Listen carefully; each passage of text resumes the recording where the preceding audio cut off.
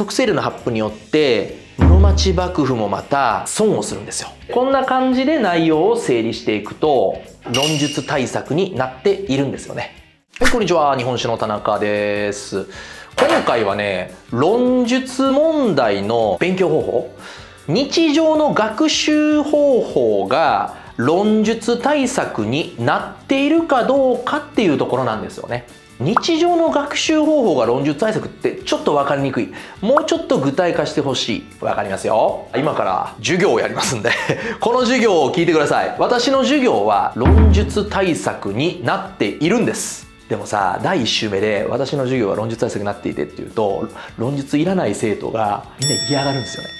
だからそんなことはもう言わずに実はこれは論述対策になってたんですよっていうふうに後でねこう種明かしをするとねみんな納得してくれるんですよね。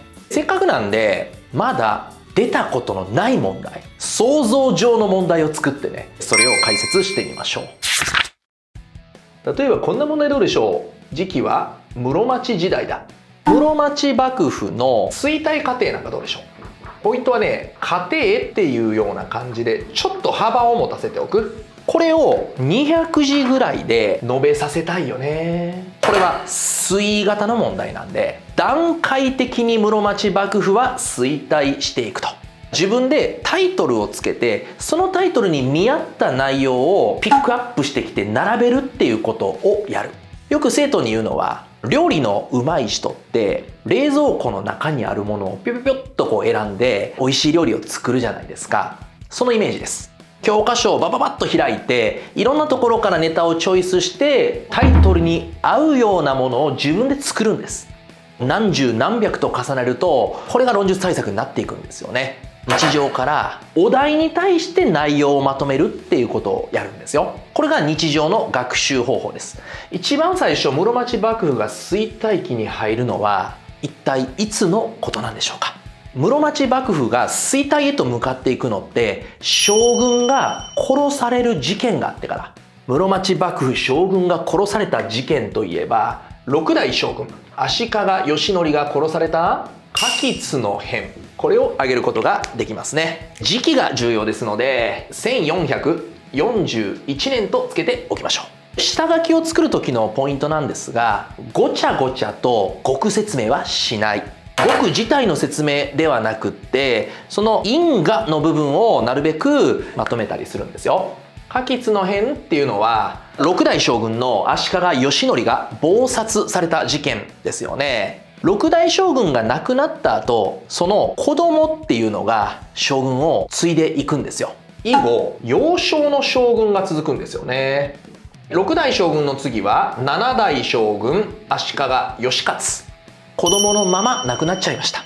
その弟の義政も当初子供だったんですよ。大人になるまでずっと将軍なんですね。応仁の乱の最中9代将軍義久に変わりますがこれもまた子供なんだよね。以後幼少の将軍が続くっていうのが過吉の変の後の内容になってくるじゃないですか。将軍がリーダーシップを発揮してあれこれあれこれ決めていくんじゃなくって将軍の下にいる者たちが政治の実権を握ると言っても過言ではないわけです。幕府の実権これ一体誰が持つ？将軍の下にいるのは室町時代だと例えば慣例慣例といえば細川氏なんかがおります。畠山とかね芝ももちろん寒冷家なんですけどね。実権を持つってなってくると細川なんですよね。あとは侍所の諸子を務める家柄山梨ですね。この細川氏や山梨が幕府の実権を握るようになっていくと。これがまあ果実の変の結果にあたる部分なんですよね。実際の京都大学の問題で室町幕府の衰退過程について述べよっていうと受験生多分手が止まるんですよ。だから大学の側はヒントをくれます。例えばヒントのその1として幕府の財政に触れながらようなヒントが絶対条件としてるっていうのはあの条件っていうのはねみんなにヒントをくれてるっていうわけなんですよ。ちょっと財政に触れますね。室町幕府が財政的に窮乏化していく。これもまた衰退過程と言えそうですよね。室町幕府が財政的に衰退する。そのきっかけとなるのが特政令の発布なんですね。特性例というと土葬酒屋なんかに対する借金が帳消しになるっていうこういう法令です。一見特性例が出されると金融業者が損をするように見えますよね。その延長線上にこの特性例の発布によって室町幕府もまた損をするんですよ。なぜならば室町幕府っていうのは金融業者から税を徴収してるんですよね。どんな税かというと土葬からは土葬薬酒屋からは酒屋薬っていうのを取ってますよね。特性例を発布するっていうことは土葬酒屋が貸してるお金が返ってこなくなるっていうことなんで室町幕府に払うべき税が払えなくなるってことなんですよ。これが減少してしまうことになる。すなわちこれは幕府の財政悪化につながると。財政が悪化するってこれも衰退として捉えることはできますよね。これでまた室町幕府は弱体化しました。こういう過程を積んでいくわけなんです。例えば中学生とかに室町幕府っていつ衰退したって聞いたらみんな口を揃えてあの内乱を挙げます。室町幕府が崩壊へと向かっていくその内乱というのが応仁文明の乱ですね。応仁文明の乱は時期込みで押さえた方がいいですよ。1467年から77年ね。舞台は京都です。11年間にも及ぶ内乱なんですね。今回はこのタイトルが室町幕府の衰退過程について述べよって言ってるわけなんですよ。応仁文明の乱について細かく述べろとは言っていないんですよね。説問に合うような形で自分の答案っていうのを作らないといけないのでここはサクッとまとめてしまいたいところです。例えばこの原因が将軍家や寒冷家の後継ぎ争いがその原因となっていてとか幕府の実力者争いもあってとかそういうことをこまごまと書くんではなくってなぜ室町幕府の衰退につながっていくのかっていうところを書く。京都での争いが終わると京都に集まってきた守護大名たちは自分たちの国を留守にしている間に自分の家臣たちに自分の国ごと乗っ取られたりする。下克上の風潮っていうのがねこう広がっていくじゃないですか。自分の両国の混乱を鎮めに行かないといけないので京都から自分の国に帰っちゃうんですよ。そっちでこう争いに巻き込まれていくことになる。その後京都に戻ってくる守護っていうのはほとんどいなくなってしまうので守護が京都に集まって幕府の政治を担う。守護在京制っていうのは崩壊します。これね教科書に載っているフレーズなんで皆さん教科書を開いてもらって応仁文明の乱のところの結果守護在京制が崩壊した。幕府の仕組みそのものが崩壊していくっていうのは衰退と捉えることができますよね。これも衰退の大きな要素だと言えます。これで室町幕府は完全に衰退しきったのかというともう一個だけ挙げなくてはいけません。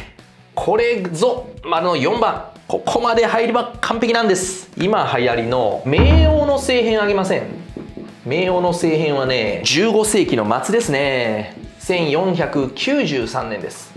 応仁文明の乱の最中将軍は義政から義久へと移りましたよね。でもあの義久っていう9代将軍は結構若くして亡くなって10代将軍の時代に移っております。10代将軍言い方がいっぱいあって難しいんですが義木とか義種とかいろいろ言います。その10代将軍がなんと細川氏によって京都から追放されるっていう事件こそがこの冥王の政変なんですよね。細川勝元の息子である細川正元が将軍を追放する。そしてもう京都の支配権を細川が握ってしまうっていうわけなんですよ。細川が京都の支配権を持ちます。しかし細川氏はこの後下克上に巻き込まれていくんですよ。細川正元が死んだ後なんですけれども家臣団内部争いっていうのが生じまして三好氏そしてさらに松永氏と京都の支配権っていうのが移り変わっていく。将軍がですねもう京都の町の中にそれ入れなくなっていくっていうここまで来たらもう完全に室町幕府は衰退しきってるでしょって。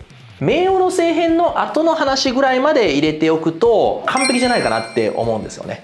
財政に触れながらっていう条件も入れましたけれども冥王の政変のヒントになるような条件っていうのをまあつけたりして応仁の乱後に起こった15世紀末に起こった内乱にも触れながらとかね。そういう条件は多分入ると思うんですがこんな感じで内容を整理していくとタイトル以外に12345678910行で書いてるんですが大体10行で200字ですイメージとしては。下書きを何行書いたら何時に換算できるっていうのは自分がどれだけこういう下書きを書いたかっていう量に比例すると思いますのでそういう変化もできるようになってほしいなとは思います。タイトルに対して内容を合わせていく。という作業そのものが論述対策になっているんですよね。理屈で勝負します。歴史用語を追うんじゃないですよ。歴史用語は知らん間にこうやって頭に入ってますからそこはもう追いかけないでね。これがまあメモの取り方というか論述問題の考え方まとめ方になりますのでこういうのをね自分なりに作ってみてはどうでしょうか。ということで今回は論述問題の対策というか考え方についてまとめてみました。ここまでです。最近ねよく思うのが数学物理科学こういう理系科目をもっと勉強したかったなって思います。大人になってからはなかなか勉強できません。今しかないと思って残りの受験生活頑張ってください。